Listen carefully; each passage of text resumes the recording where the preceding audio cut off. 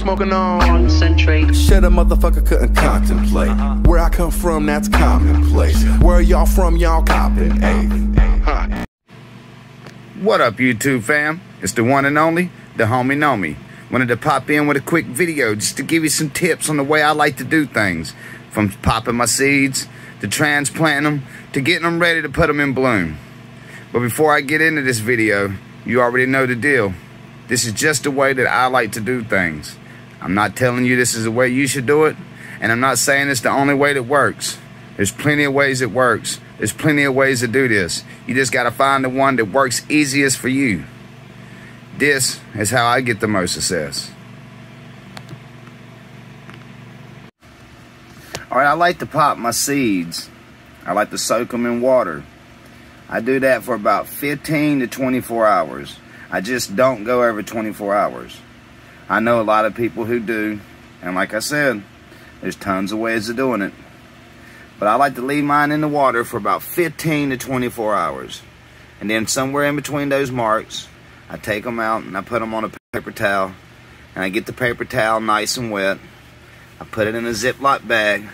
And I set it somewhere where the light don't get to it and it stays kind of warm. I don't want it getting too cold. Once they pop, I like to stick them in these little grow bags. It works out nice because I can get a good root system going and I don't have to worry about drowning them out because that is easy to do with a seedling in a big old pot with a lot of soil. So this is how I like to start it out. Now once I get to, I don't know, maybe my third set of leaves or if I see that the roots are coming through, then I like to transplant. You know the way I transplant. I like to add in a little bit of extra um, earthworm casting. I usually do a cup and a half, and I usually put them in a two gallon fabric pot on the first transplant. I also use Mykos and Azos just to get the roots going and really open them out. Then I put them in my two gallon pots.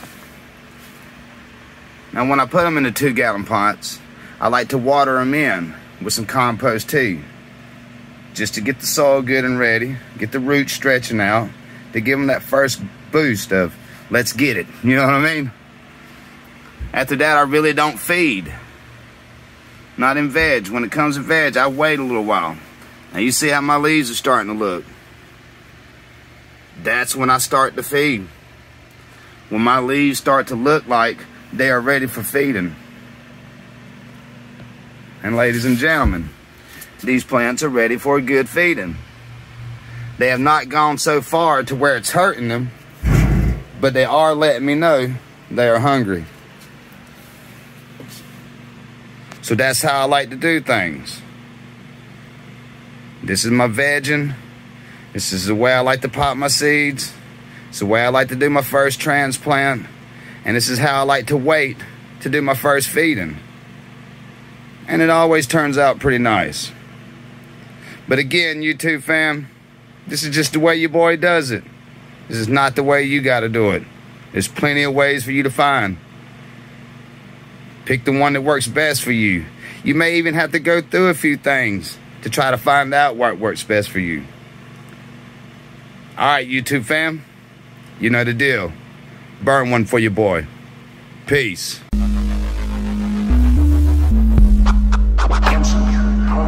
Smoking on. Concentrate. Shit, a motherfucker couldn't contemplate. Where I come from, that's commonplace. Where y'all from, y'all copping, ayy.